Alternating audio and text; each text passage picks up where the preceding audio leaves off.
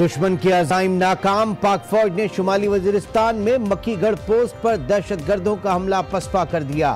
حملے میں ایک جوان شہید، آئی ایس پی آر کے مطابق بویا میں خار کمر چیک پوسٹ پر ڈیڑھ کلومیٹر دور پانچ لاشیں ملی ہیں، جن کی شناخت کا عمل جاری ہے۔ ملک دشمن عزائم کھل کر سامنے آ گئے۔ پی ٹی ایم رہنما محسن داور اور علی وزیر کا ساتھیوں کے ساتھ شمالی وزیرستان میں چیک پوسٹ پر حملہ۔ پانچ جوان زخمی جوابی کاروائی میں تین حملہ آور مارے گئے۔ دس زخمی۔ علی وزیر گرفتار محسن داور فرار۔ پی ٹی ایم کے معصوم کارکن محتاط رہیں۔ چند افراد اداروں کے خلاف اکسا رہے ہیں۔ ترجمان پاک فوج کی اپیل۔ یوم علی آج مذہبی عقیدت و احترام کے ساتھ منایا جا رہا ہے۔ ملک بھر میں چھوٹے بڑے جلوس نکالے جائیں گے۔ سیکیورٹی کے سخت انتظامات، کراچی میں جلوس کے راستوں اور گلیوں میں کنٹینرز لگا دیے گئے۔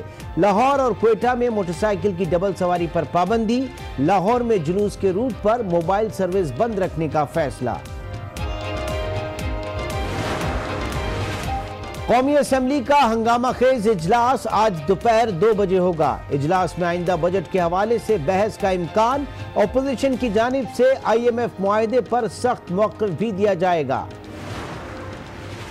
ازبکستان کے نائب وزیر اعظم اعلیٰ سطح کے وفد کے ہمراہ دو روزہ دورے پر پاکستان پہنچ گئے۔ نور خان بیس پر اعلیٰ حکام نے معزز مہمان کا استقبال کیا۔ وزیر اعظم سمیت اعلیٰ قیادت سے ملاقاتیں کریں گے۔ چینی نائب صدر وانگ شی چن کا دورہ پاکستان، آج لاہور آئیں گے۔ وزیر اعلیٰ اور گورنر پنجاب سے ملاقات ہوگی، بادشاہی مسجد اور ہائر فیکٹری کا دورہ بھی کریں گے۔ ملکی تاریخ میں پہلی مرتبہ ای کورٹ سسٹم کا آغاز۔ ای کورٹ سسٹم ٹیکنالوجی کی دنیا میں ایک بڑا قدم ہے، جس سے فوری انصاف ممکن ہو سکے گا۔ چیف جسٹس کی نادرہ کی تعریف